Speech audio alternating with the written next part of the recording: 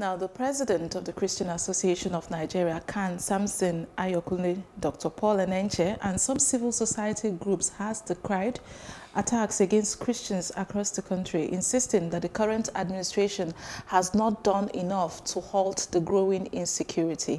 Ayokunle, who spoke at a press conference organized by Dunamis to mark the second year anniversary of Leah Sharibu in captivity, said the country had drifted into anarchy, insisting that Christians were being targeted amid the insecurity in the country.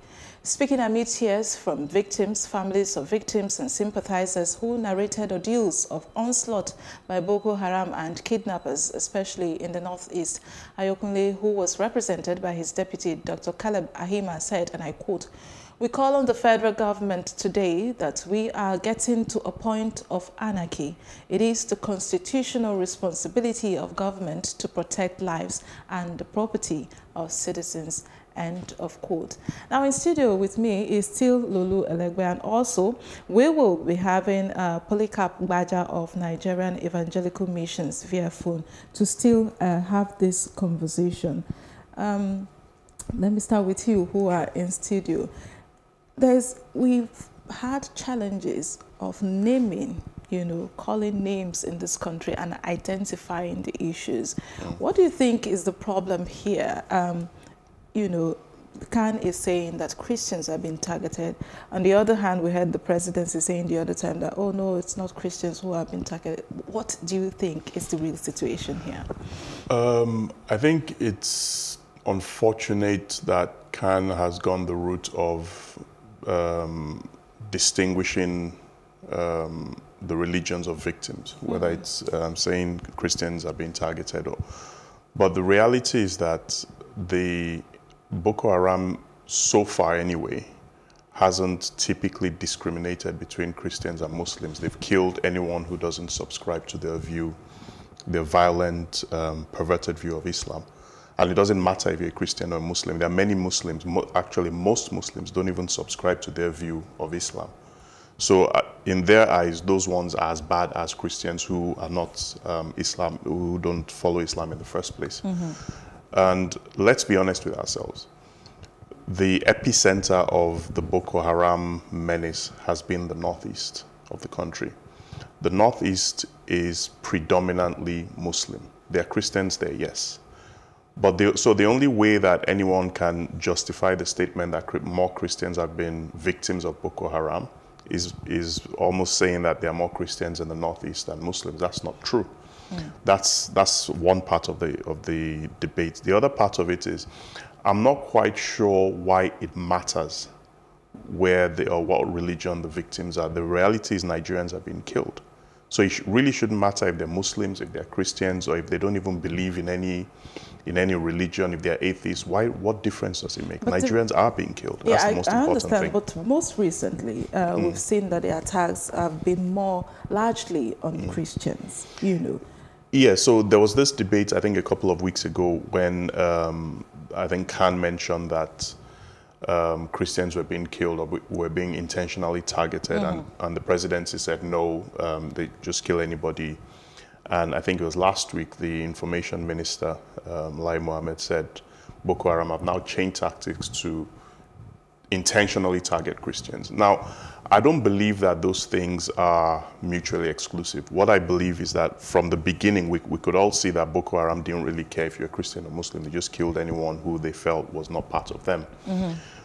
In the last few weeks or months, I, I don't know which it is, yes, they, you, you can see that they've started to they've changed, like um, Minister Lai Mohammed said, they've started to actually target Christians because they want to, they want this to become a Christian versus Muslim thing. Mm -hmm. Now, my disappointment with CAN is that they are feeding this narrative. Because when you start to say, um, that when, when that attack in, I think it was in Damaturu a few weeks ago, um, where quite a few people were killed mm. on the highway mm. because the, the gates into one of the towns had been shot by the military and Boko Haram came and attacked them. There was a statement by CAN saying that that attack was actually targeted at CAN members who were going for um, some Conference. function. And I felt that was a very irresponsible statement to make because Um, first of all, I thought that was an opportunistic attack. Um, I don't believe it had anything to do you to think do with they're playing victims? Yes, they are because I, I think they are because the reality is that when you start to put out statements like that and you say that the, the reason um, this attack happened because of CAN officials, as CAN, you can't say, you shouldn't say that because all, what you're doing is you're stoking the divisions that these people are trying to create. Well, those divisions are there, but for a group like CAN, a, even a group like MURIC, their, their respons- it's their responsibility to ensure that that religious cohesion within the two, with, the, with Christians and Muslims is enhanced as much as possible. But statements like that, the only thing it does is drive those divisions because they cannot, CAN cannot tell me that of the people that were killed that day, that um, it was only Christians that were killed on that day. There were Muslims killed that day. But statements like that from CAN make it sound like it doesn't matter that Muslims were killed on that day. That okay, yes, it was CAN officials that they targeted. Why, why, why does that matter? You were saying that um, essentially uh, the big issue is that Nigerian life matters, whether you're Christians or a Christian or Muslim. It's not the issue here. However, um, because we are looking at the way things are unfolding on a daily basis, don't you think it's difficult to still achieve the same religious cohesion? Because Yes. if outright, outrightly you see someone as an enemy, for lack of a better word, how, how best can you achieve that? Yeah, but here's the problem. Boko Haram doesn't speak for Islam. Boko Haram doesn't speak for Muslims in Nigeria. So when people start to say this is Christian versus Muslim thing, I don't understand that argument because this is terrorist versus victims. It's not. This is not a Christian Muslim thing. Again, I'll come back to you Sure. really. Um, I understand Polycarp is on the line. Good morning, Polycarp. Good morning. How are you? I'm very well. Thank you for joining us on News on the Hour this morning. Now we are talking. We're having this conversation. Hopefully, you had listened in. Uh, talking about CAN's statement and uh, the fact that they are saying uh, Christians are the ones most targeted. In your position as a Christian leader, how do you how do what do you make of all of this uh, going on between CAN, between uh, the president's statement, and of course the activities of the terrorists in recent time? Well, in the first place, um, it wasn't just a claim of CAN. Boko Haram, who have perpetrated this atrocity, have been very clear in their intention. They have been deliberate about it, and they've been very clear in their statements. They've said this is what they are doing. We're going to kill the Christians, and we will continue to do that. We want to establish an Islamic caliphate. What I think CAN has done was just simply to put them. And I think that um, it is very clear in Nigeria today where they stand. You can't begin to speak for them when they have spoken for themselves. So it is very clear. What CAN is speaking is simply quoting what they said. And so if you're talking about Boko Haram, they are very clear. What their target, what their intention is, It's an Islamic jihad they have an, a, a religious cleansing that is that is going on, and definitely uh, their aim is to establish an Islamic caliphate. So as far as you are concerned, uh, it's a clear it's a clear statement that Christians are being targeted. Yes, Now, uh, definitely.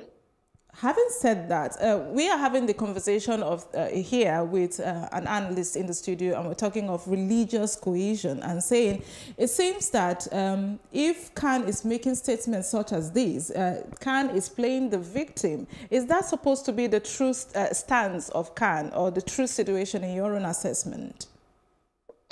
First of all, let me say very clearly what you see with the situation of Boko Haram and the Fulani so called herdsmen militia is a clear case of security failure by the regime and by the government. They failed this country. People kill for ethnic excuses, they kill for religious excuses, they also kill for partisan excuses. You have a nation where people have been killed in tens of thousands. This is a breach of security. It is fundamentally a failure of security by the government. So when we are talking about an issue like this, uh, it's not a case of CAN being the victim. Uh, Nigerians are being killed in tens of thousands. And then you, you, I mean, the government comes out to be to be wording uh, something like uh, farmer herders clash. It's just like um, armed robbers killing people on Ore Road, and then you say that there were some armed businessmen that were having clashes with unarmed travelers. That is insane. What you see here is a case of invasion, decimation, and occupation of indigenous Nigerian land by terrorists. They have been certified as terrorists even by the United Nations. I don't know what we're doing here, trying to uh, to be either politically correct or something, or hiding our heads in the sand. It is very clear where they stand, and what is happening in Nigeria right now is a failure of security. Simple. All right. Uh, let's talk about solution, right? Um, whether or not we like it, both Christians and Muslims and people of other religious persuasions will continue to be in Nigeria as, as long as they are nationals. And as long as we are here, uh, we want to seek solution. What do you think will be the role of religious organization, you know, uh, to be able to fight or curb this, uh, all of these insurgencies and the activities of terrorists that is almost living with us, so to speak? I think that the leadership is already doing what they need to do, which is speaking about it. CAN or religious bodies are not equipped by law or by instrument of state to deal with terrorists. Let me go back to the example I just spoke right now. If armed robbers are killing people in Ore and travelers that are plying that route, you, you don't go back to Lagos town or Ibadan or somewhere and begin to gather Christians and Muslims and tell them to tolerate one another. It's a criminal act of terrorism going on, and that is not being addressed. It's a deflection and a distraction of the real issue. And this is what has been happening. You have a case of criminal indulgence that has gone on for a decade, and you're gathering Christians and Muslims together to talk on what? There are criminals on the street killing people mm-hmm. and naming them by various claims. It's the same thing that happens during elections. People die in Nigeria because of elections. You don't go and be talking to people about religion. No, you go after the perpetrators of this evil and deal with them. That has not been done. Let me tell you an example. Let me give you an example. A few years ago at Boston, two brothers blew up two bombs, homemade bombs, at a marathon event. The United States released 6,000 security agents.